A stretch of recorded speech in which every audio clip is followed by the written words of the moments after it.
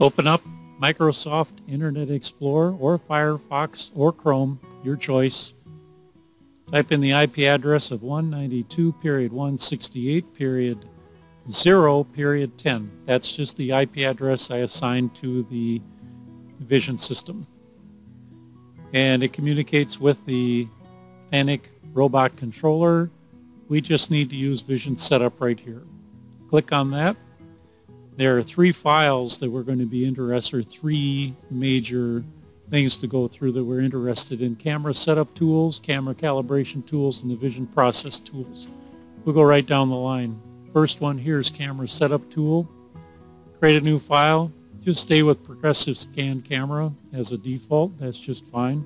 And uh, give the name something meaningful.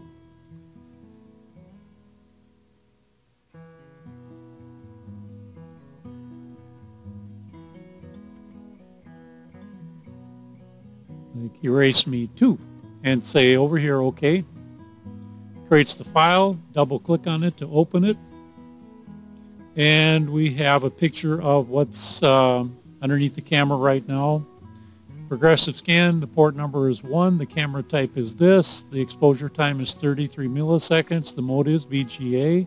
It is not robot mounted, it's uh, fixed mounted, so we do not click on that box. And what we're getting at is there's absolutely nothing you need to do on this screen. So we can save it and close it. We're done. Then we go on to the next one, calibration tools. Click on that, create the file. Grid pattern tool, that sounds good. R-A-S-E-M-E 2. Say OK. Open up Erase Me 2 because I'm going to erase these when I'm done. And now that's your grid pattern. We're going to have the uh, we're going to have to jog the robot and get that um, out of the way. So, not train, grid cal, camera's not selected, so select it, and we're going to pick up the uh, Erase Me 2 camera. That's what we had before. Exposure time was default, nothing to do. Nothing to do here. Application frame, you should be using number 8.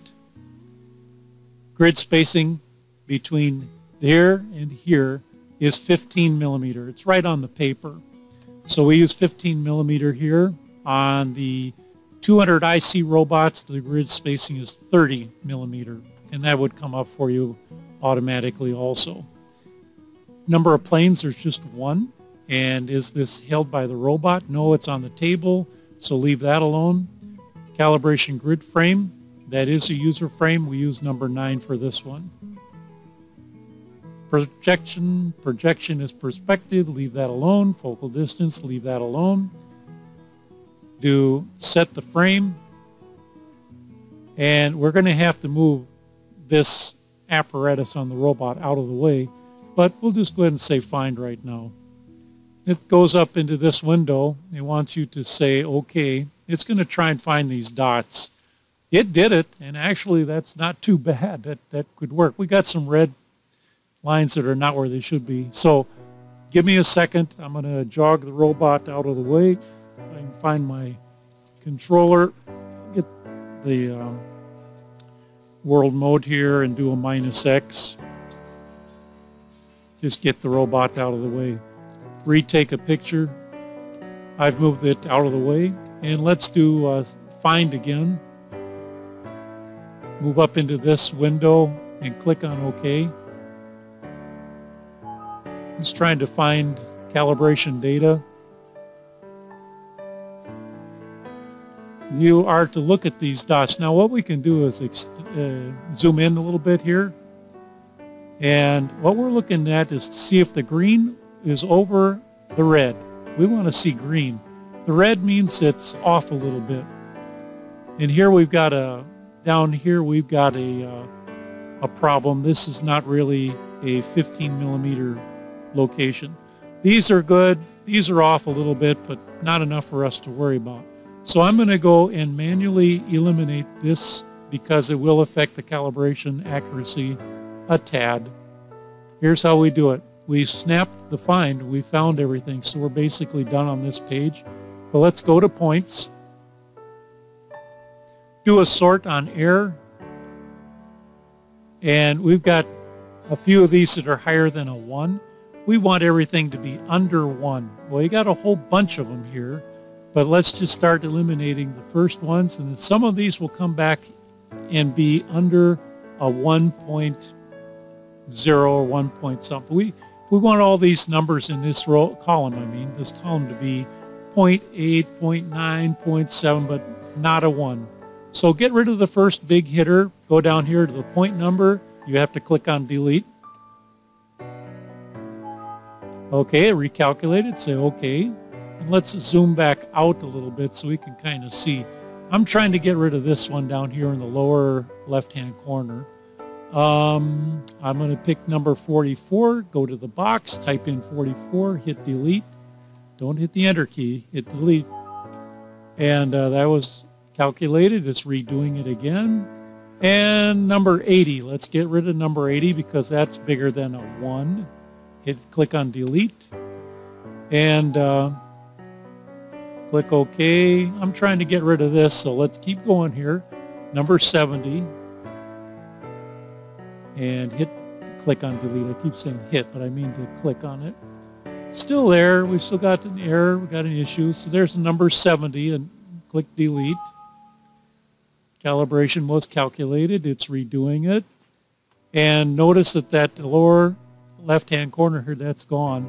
All these are looking pretty good. In other words, it was able to recalibrate itself. We're looking for blues on the X and blues on the Y direction and uh, greens overlaid on red. We really should not see any red at all, but there's a little bit. Not a problem. This is good. Even though I have uh, one that's real close to a 1, all of our numbers are underneath 1 point something. So this is good. Save this calibration data. And we're done with our grid. You don't do anything back on this page. If you do, you'll have to go back through and delete points again because it'll find this uh, stuff. So we're done. Uh, take a new picture here to look at it and uh, close this window out. Move right on to the Vision Process tool. Make a file. Keep the default E-R-A-S-E-M-E 2. Go down here and click OK says, hey, that was already used, so I'm going to go erase 3. I already used 2. Okay, come back here, open it up, and what this is for is to define the object you're looking for. I'm going to I'm going to go here and snap a picture of what the that's okay. Let's tell it a little something so it can at least take a picture. Hmm. Not selected. We want we'll take Erase Me 2. It's using the camera information from Erase Me 2. We can expand this a little bit. Kind of blow it up a little bit there. There, we can see the entire grid. That's kind of nice. Now, there's nothing on it. I'm going to set a part down on the grid. Take a picture here, one snap. There's the part. I'm going to move the part to a different location. Come up here, snap the picture. And if you're just kind of lining stuff up, you can click on here, which means just keep doing the picture, and you can see me moving the part around here. You have to delay a little bit. So I'll leave the part right there. Go back, snap one picture. Okay, it's fixed. We basically don't do anything along in here until you get all done defining your part we need to do a snap and find, but it doesn't know what to look for, so I'm making a slight mistake. I can't do this reference data box until I've defined the part. And by defining the part, I want to tell it this is the object I'm looking for. GPM locator, that's your um, geometric pattern match, GPM, geometric pattern match. Just come down here and click on teach the pattern. It's going to put a box out here we have to zoom a little bit. Let's zoom in. And uh, I'll zoom a little more. And go back to your pointer tool and move this box. We want to make a nice box that'll go around the entire part. Go grab the handle down here, drag it. Now, it's going to ignore these little black dots. But we're going to tell it this is the shape of the object we're looking for. So just click OK. It'll do the best it can to figure out that shape, and there it is. Oh, we've got an error. It thinks that's part of the part. So we probably should go in and get rid of that. Or we can cheat by just moving the, uh, moving the object, get it off of here. So I'm just going to cheat because I'm a little bit lazy. How's that? There. Now, a little bit of black in there. How's that? Oh, I like that. So snap one picture. Let's go back and reteach it. So teach the pattern again. Zoom in. Just makes it easier to see. Go to the pointer tool, move the box, and let's let's try to get it so we're not on any of these other little black dots. There we go. Make sure you put the box around your entire object. Here I got a little problem. Let's stretch that out. That's great. Teach OK. All right. If you teach it, you may have a reference. You know, you can read that for yourself. There, that's the object, and I like that. Don't need to set the origin. You don't need to center the origin because um, it did that automatically, the origin. And uh, orientation, none, because there's no orientation with a circular part. Scoring, 70%. Anything above 70%, it's considered a good part. Anything below 70%, it will be a bad part. And there's where the score would show up. Basically, we don't do anything in here. No mask, no nothing and uh, save this. Go back to our vision process and now we can come down to the reference data and set our reference position and it said we need to do a find so snap the picture and find the object and there it is let's zoom in just be sure it's um, green it found the part and it thinks that's the orientation of it but that's okay it's circular and it gave it a score of 98.9. Now remember, anything above 70 is a good part.